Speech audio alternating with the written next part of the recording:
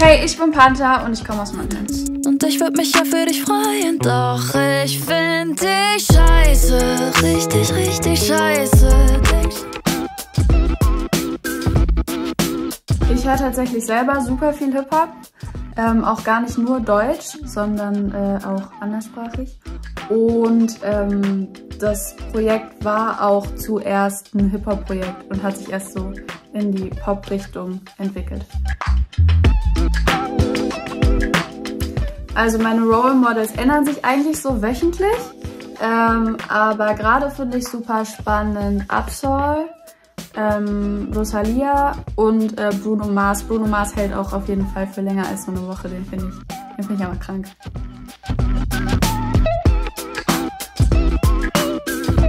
Zuallererst möchte ich eigentlich bei mir selber was bewirken, weil ich ähm, super viel damit verarbeiten kann, wenn ich Songs schreibe.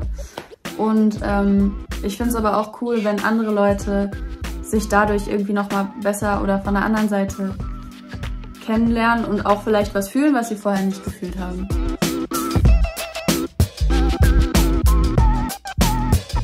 Ich glaube, also wenn man jetzt mal auch im realistischen, ja was heißt realistisch, wäre schon krass so, aber im deutschen Kontext bleibt, sage ich mal, dann wäre es auf jeden Fall Crow, glaube ich.